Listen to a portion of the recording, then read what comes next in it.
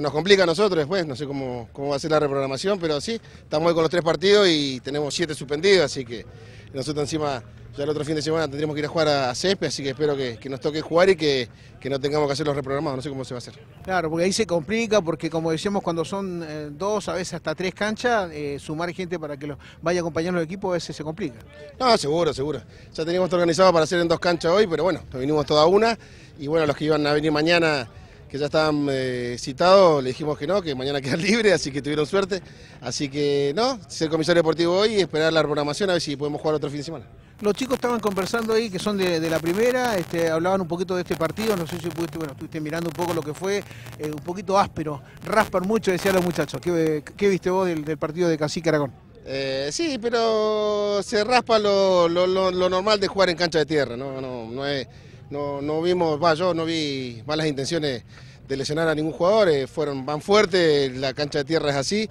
pelotas, muchas pelotas divididas, un poco de viento y bueno, te lleva al roce sí o sí. Ok, bueno, eh, dos partidos más se suman para esta tarde. En lo que tiene que ver con el equipo de Carmar, eh, me imagino yo que están trabajando fuertemente para tratar de, recuperar el, lugar que, que, han obtenido en los últimos torneos. ¿Esa es una responsabilidad para este torneo? No, no, seguro, seguro. Nosotros seguimos entrenando toda la semana, tenemos entrenamos bastante, la verdad que venimos de mucha pretemporada, eh, jugamos dos partidos nada más, así que bien, bien, bien, tuvimos dos partidos, empatamos los dos primeros, pero eh, conforme con el equipo, la verdad, con el funcionamiento muy bueno, muchas situaciones de gol, partidos que lo tenemos que haber ganado no lo ganamos nosotros, y después nos tocó la cancha de tierra, con ocho jugadores terminamos y empatamos uno a uno, así que la verdad que bastante contento con el equipo, el sacrificio de los muchachos, muchos expulsados para el próximo partido, muchos lesionados, pero bueno, vamos a tratar de armar el equipo lo mejor que se pueda. ¿Cómo fue la, pretemporada para el equipo canario, pensando en que varios equipos del fútbol barrial eh, no solamente se prepararon de la mejor manera, sino que también en muchos equipos de primera eh, fueron a buscar rodaje futbolístico incluso fuera de Gallegos y en el interior de la provincia? Eh, sí, la verdad que me sorprendió este año, vi, muchos viajes de muchos equipos, la verdad que, que eso me pone contento porque me da la pauta de que muchos, muchos equipos están jugando, están tomando esto en serio y, sabiendo que, la pretemporada y el entrenamiento es lo, principal.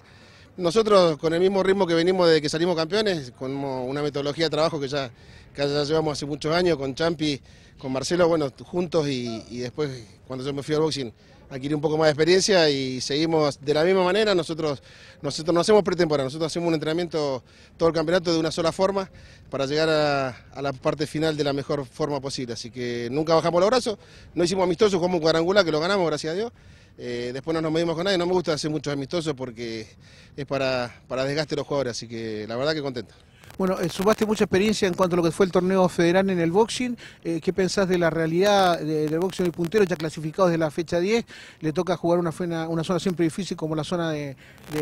Comodoro en este caso. Y bueno, y también de, tu amigo Carlos Padín que también está haciendo cosas importantes. Eh, sí, sí, el boxing,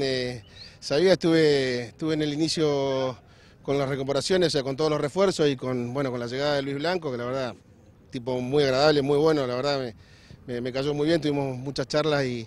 aprendí bastante, la verdad un tipo muy didáctico, mucha experiencia, eh, un buen plantel, la verdad muy buenos jugadores y, un trabajo muy serio que se hizo acá en la parte física con, todos los, chicos de la local, que la verdad que estuvieron a la altura de circunstancias. Vos fíjate que hay en el equipo titular hay casi cuatro o cinco jugadores barra seis que son de que los que estaban ya de hace varios años en el boxing, así que la verdad que lo único que faltaba era hacer un trabajo físico con nutricionista y todo que se hizo este año, la verdad que, muy bien encarado por el boxing. Un plantel para ascender, yo creo que tiene, tiene todas las condiciones para, estar realmente en el Federal A. Eh, creo que el cruce con Comodoro este año va a ser distinto al que nos tocó ir con Carlos cuando fuimos nosotros. Eh, veo un equipo muy compacto y la verdad que, me pone bien. Y con respecto a Carlos, la verdad que agarró un desafío imposible casi, que, no sé quién lo podría haber agarrado y él le puso el, le puso el hombro, le puso el, el pecho y la verdad que, estuvo a la altura de circunstancias, cambió muchísimas cosas,